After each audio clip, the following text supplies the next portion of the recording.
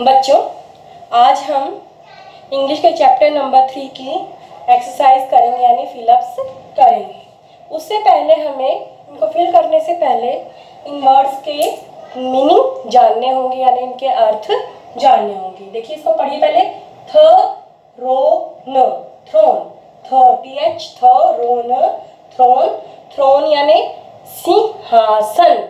Throne यानी सिंहासन, जिस पे राजा बैठता है, सिंहासन पे बैठते ना राजा? उसको बोलते हैं throne prison P R I P S one जन प्रिजन प्रिजन यानी पिंजरा. प्रिजन यानी पिंजरा जिसमें हम कैदी को रखते हैं. ठीक है? ये हो गया हमारा सिंहासन. है ना? जिसके ऊपर राजा बैठता है राजगद्दी के ऊपर? अब है N N E C K neck L A C E necklace क्या बना ये नेकलेस नेकलेस यानी जो हम गले में पहनते हैं माला, उसको हम बोलते हैं नेकलेस इसके बाद है की के आई की N G kingdom kingdom kingdom यानी राज्य। किंगडम यानी राज्य। राज्य।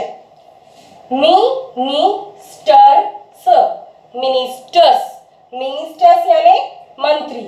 मिनिस्टर्स यानी मंत्री। C O U R T court. Court. Court यानी दरबार। कोर्ट यानी दरबार जिसके अंदर मंत्रियों की या राजा की सभा होती है। कोर्ट, दरबार मिनिस्टर्स मंत्री। आप देखिए, हम इनको एक बार फिर से पढ़ते हैं। थ्रोन परिजन नेकलेस किंगडम राज्य मिनिस्टर्स मंत्री, कोर्ट यानी दरबार। अब नंबर वन देखिए all the dash V I press S N T went present in dash of the king all the dash were present all the dash were present in dash of the king कौन present यानी? उपस्थित. Present यानी? उपस्थित. जैसे तुम class में present होते हो ना है ना? उसी तरह से उपस्थित। कौन उपस्थित होते हैं राजा के? किसमें? कौन उपस्थित होते हैं बच्चों? यस मंत्री यानी ministers all the all the सभी। सभी मिनिस्टर्स यानी all the ministers were present in किसमें प्रेजेंट होते हैं? जैसे तुम क्लास में प्रेजेंट होते हो ना तो मंत्री किसमें प्रेजेंट होते हैं? दरबार में यानी कोर्ट में। All the ministers were present in the court of the king. The king was sitting, sitting on his. The king was sitting on his. Sitting यानी बैठना. The king was sitting. राजा बैठा था. On his किसके ऊपर बैठा था? Madam जैसे कुर्सी के ऊपर बैठती है आप मैट के ऊपर या बेंच के ऊपर बैठते हैं ऐसे राजा किसके ऊपर बैठता है किसके ऊपर बैठा था? The king was sitting on the yes throne यानी सिंहासन। His throne the king was sitting on his throne next है द जी आई गी L Gill T Y guilty guilty यानी अपराधी। गिल्टी यानी अपराधी हो सकता है, चोर हो सकता है ना? Was sent to dash after he R hear hear hear, इंग, हियरिंग हियरिंग यानी, हियर मीन सुनना, हियरिंग यानी सुनवाई। जैसे केस की सुनवाई होती है ना अदालत में ऐसे। द गिल्टी यानी अपराधी या चोर वॉज़ सेंट सेंट यानी भेज दिया गया।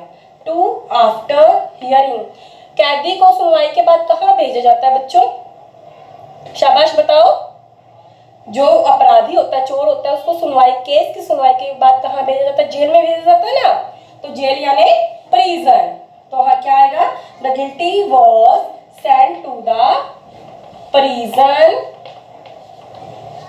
prison after hearing सुनवाई के बाद अपराधी को जेल में यानी प्रिजन में भेजा गया. The king was very P O P pop U, पॉपू, L popular popular यानी प्रसिद्ध, मशहूर, पॉपुलर यानी प्रसिद्ध या मशहूर।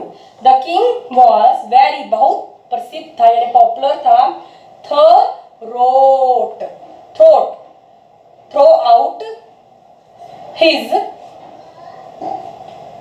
ये, थ्रो आउट हिज, किसमें प्रसिद्ध होता है हिज?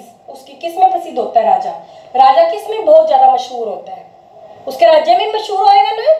तो राज्य कहाँ है? ये kingdom. The king was very popular throughout his kingdom next is queen Q U W N queen's queen's dash was made made of gold. Queen's dash was made of gold. Gold से queen का क्या बना हुआ था? क्या बना हुआ था बच्चों? क्वीन का गोल्ड से? इनमें से देखो क्या बनेगा? गोल्ड से सिंहासन भी हम लिख चुके हैं प्रिजन भी हम लिख चुके तो क्या बनेगा? नेकलेस गोल्ड से क्या बना होता है? नेकलेस यानी माला.